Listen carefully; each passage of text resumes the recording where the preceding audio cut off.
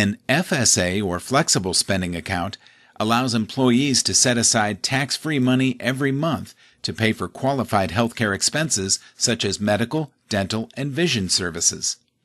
If you earn a dollar, you can contribute the full dollar when you contribute to the FSA, no payroll taxes taken out. It's important to note that FSAs have a use it or lose it rule, so any unused funds will be forfeited at the end of the plan year after a 90 day grace period. Alternatively, employers now have the opportunity of electing a $500 account rollover, so not all unused funds are forfeited. But the 90 day grace period and $500 account rollover cannot be used together. Please check with your employer to determine your company benefit.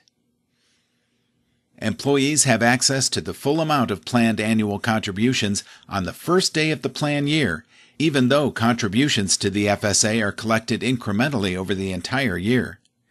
This allows you to use your full FSA benefit right away without having to wait for funds to accumulate.